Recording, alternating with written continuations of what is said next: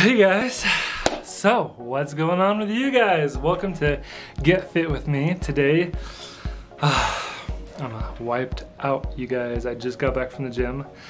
I just got back from an hour long training session and I'm so tired. So today, I've started to notice that I'm like not wanting to go to the gym. I'm not wanting to go work out. I'm having a lot more craving to just eat whatever the heck I want.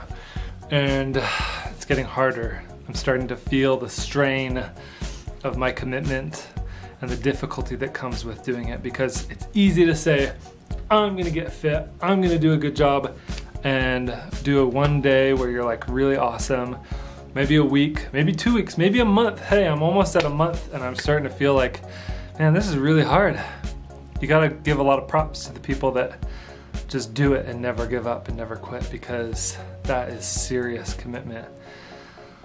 Oh man, okay, so first of all, I just got done with a workout and I wanted to share it with you guys. So it was an hour long group training session. I wanna show you MyZone, which is the app that I use to keep track of my exercises. So here, is the exercise that I did today. I'm kind of new to this whole program, but check it out.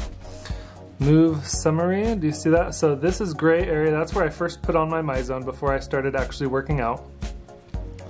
Then the blue was like the warm up area when we were just barely getting started, and then the yellow is when I did like all the intense workouts. Uh, it says that my workout was like an hour and a half, but a big chunk of that was pre-workout when I just, so before I even go to the gym, I put on my MyZone. I don't know if I showed you guys this or not, but I'm gonna show it to you now if you don't mind seeing a little bit of belly and chest skin here. So the MyZone just goes right here and you just put it on and sorry, that's me and trying to get in shape so it's not quite there yet. But this is the MyZone. It just sits right here on your chest right there underneath all of your shirt and it measures your like calories burned, heart rate, all those kinds of things. And you can actually program it so it knows how tall you are and how much you weigh and if you're a boy or girl. And then it will determine based on those figures how much you're burning based on your heart rate and all that kind of stuff. A lot of, it just turned off. A lot of technical mumbo jumbo. I don't know a lot about, but all I know is it's good for measuring. So, other than that, today um, I wanted to talk to you a little bit about the struggles I'm having committing. Um, I can honestly say if I did not have a personal trainer who I was paying for, number one, and number two, who was counting on me to be there, um, I think it would have been really easy for me to just decide not to go. So it's important to have someone that is helping to hold you accountable or that you are holding yourself accountable to, whether that's a spouse, a best friend, family member, um, me. Uh, I want to get more like community in the comment section. So let me know how you guys are doing with your goals so far. Those who committed to join me from day one, a lot of you guys have been showing me so much love and support, and I really, really feel that love and I really appreciate it. And I don't want to let you guys down, and I have to say that also helps me because I say I'm holding myself accountable, I'm gonna make a video, and I wanna have good news to report. I don't wanna say I had a bad day, which sometimes that might happen. But um, just knowing that I don't wanna let you guys down is helping me. So get someone to help you hold you accountable to your goals. Not to guilt you or make you feel bad, but just someone that you're like, man, I don't wanna let him down, I wanna do this. Um, if that if that could help you, so do that. Um, but also today, I had a really good talk with my trainer and we set some goals. Goals are very important. In my first episode, I told you guys about my goal where I wanted to be able to walk up and down the stairs without feeling winded. I wanted to be able to fit into my old church clothes that are nice and that are skinnier than I can currently fit. Um, so we talked a little bit more about creating measurable goals.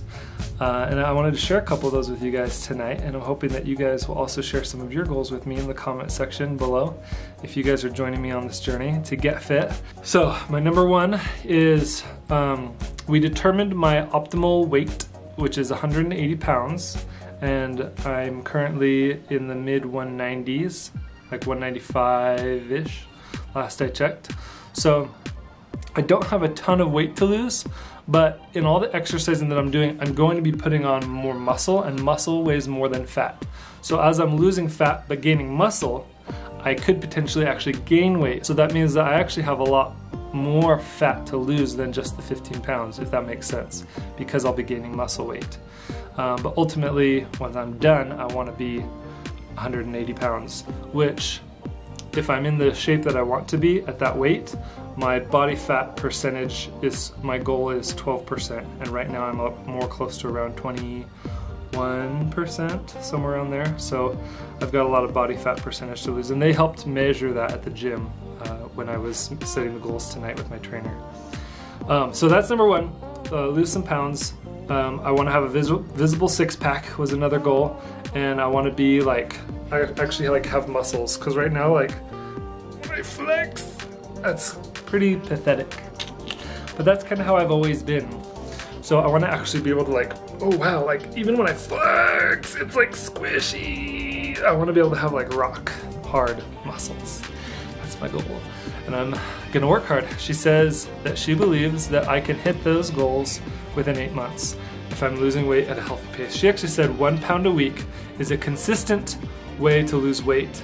Uh, if you lose too much weight too fast, it's not sustainable. So she said you want to make sure it's sustainable. You're not losing too much weight too fast by starving yourself and then binge eating and then gaining it all back. That's not healthy at all. So yeah, she said if you can lose one pound a week, that's slow, consistently, then you'll be there by, it'll only take 15 weeks, which isn't even eight months, but um, one other goal that I have, and this is the one that I'm most excited about, is by the end of this year, I am going to compete and complete a triathlon. I'm so excited, you guys. I'm so, so excited because I love running. I did Ragnar last year with a bunch of YouTube friends.